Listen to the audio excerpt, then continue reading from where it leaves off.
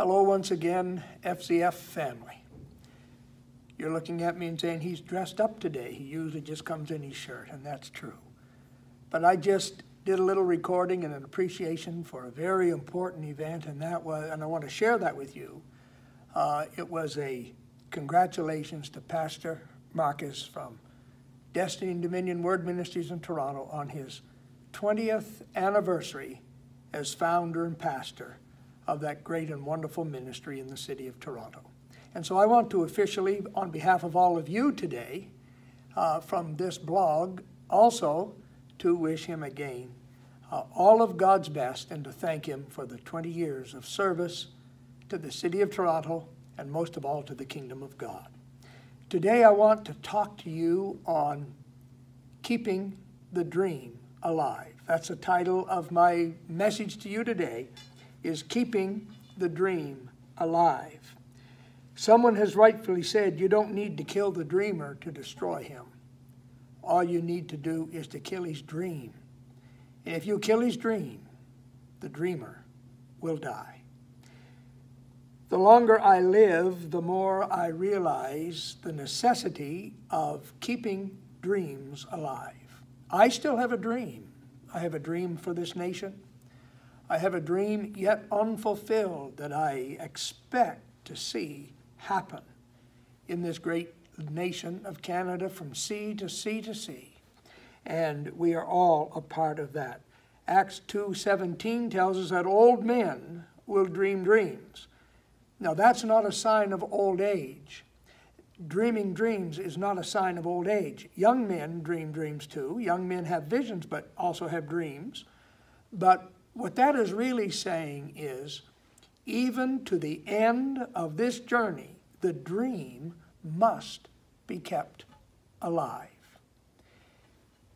If we've had any challenge in the last couple of years, it's been the challenge to stay focused, to keep our eyes on Jesus, to keep the main thing the main thing, to lead the church in what the church has always been about, and that's the gospel of Jesus Christ, being aware of the circumstances around us, but not getting entangled in the web that has been cast.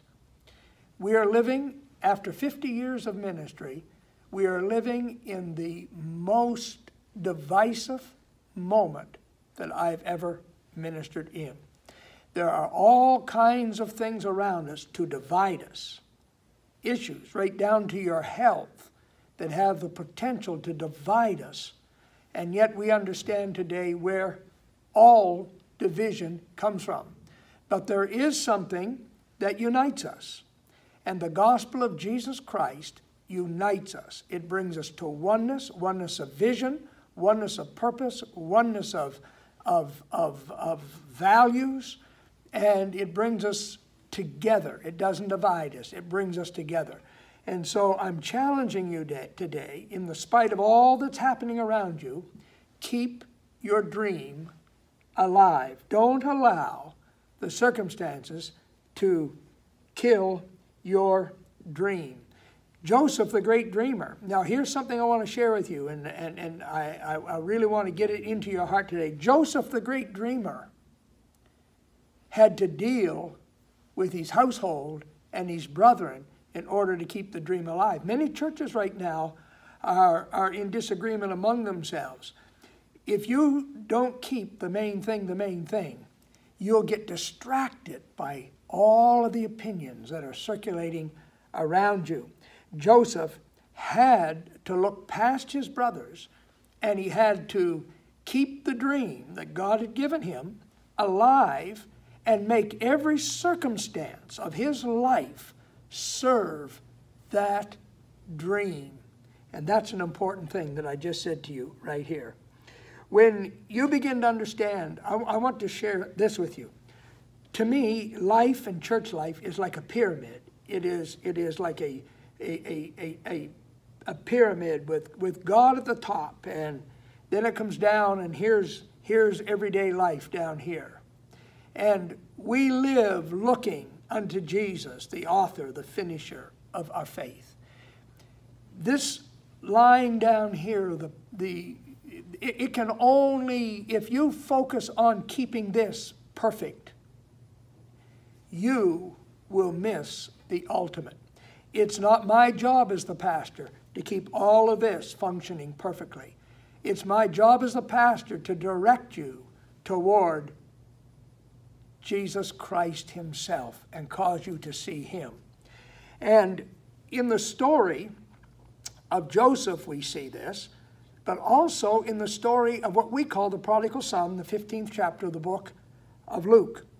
And in that chapter, we see a man who valued inheritance more than he valued relationship. Now, I want to talk to you about this.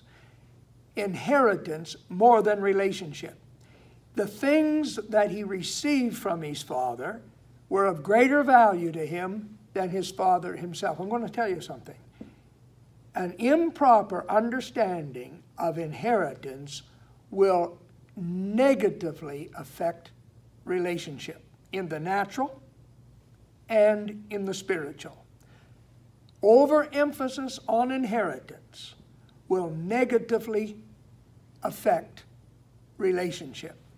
I want, to, I want you to notice something. When the boy was down in the pig pen and had squandered his living, he came to an understanding. Now, listen, he didn't get up and say, I will go to my father's house. He said, I'm going to go to my father. The reason being, you can't fix these things on the level of the relationship of brotherhood. You have to approach it from father and son. Not brother to brother, but father and son. He said, I will arise and go back to my father because your father holds you in a place in his heart that your brother doesn't. There's a relationship with your father you don't have with your brother, your sister, or anyone else in the church or in your life. And so he said, I will go back to my father. In other words, I'm going back where this all started. I'm going back to relationship. And from relationship, I will get my life in order again.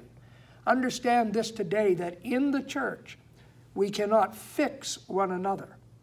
In the church, we cannot change one another. There's a lot of opinions in the church today. You cannot deal with every opinion, Pastor. You must point people away from distraction back to relationship. And when people can see Jesus as he is and see our Heavenly Father as his heart really is for us, then in relationship, when you get in relationship and understand and value relationship, the things on the horizontal plane will come into place when proper relationship is maintained. If proper relationship isn't maintained, you have nothing but crisis on the horizontal level. And so when he rose and went back home, he went to his father. His father, when relationship was restored, the boy left rich, came back a pauper. But when he came back to relationship, there was a ring on his finger, shoes on his feet, a robe on his back, and a fatted calf and a feast prepared for him. What did he learn? Seek first the relationship of your father, and all of the other things will be added unto you. Now, me, can I also remind you here? Your heavenly Father knows what you have need of. He looks after your health, your wealth, your peace of mind, your relationships on the horizontal level. He takes care of them if you will look unto Him and keep proper relationship there. Pastor, we are entering into, we hear about phase four of the pandemic, but I want to tell you, just lay all of that aside. For the church, we are entering into a phase that you need to walk in the wisdom of God. You need to keep focus. You need to keep Jesus before the people. You need to cause them to look unto Him, the author and the finisher of our faith. And you need to cause them to build strong relationships with God Himself. And when we do these other things, these other things will come into line. I'm asking you, are you going to keep your dream alive? Or are you going to allow the circumstances around you to rob you of your dream and to kill you slowly, piece by piece? Or are you going to look to the one that gave you the dream and say, I'm going to cause everything to rise to you? I'm going to keep the dream alive and I'm going to keep these people in relationship with you. You see, I can't fix my brother. That's my father's job. I can't fix my brother. That's my father's job. My father loves me, but my father also loves my elder brother who's having a problem with me. Do you understand that? But when I focus on my relationship with my father, understanding that he has the same love and relationship with this person that's causing me difficulty and doesn't celebrate with me today, when I understand that and I leave that in the hands of my Father because He has the love and the grace for me in my time of need, and He has the love and the grace needed for my brother in times of misunderstanding. And so, whether you agree on all that's happening around you, don't allow it to become a point of separation but look unto Jesus and let Him, let Him work at the brother level, and we walk with Him at the Father Son level. Keep your dream alive. God bless you. I love you, and I pray for you daily.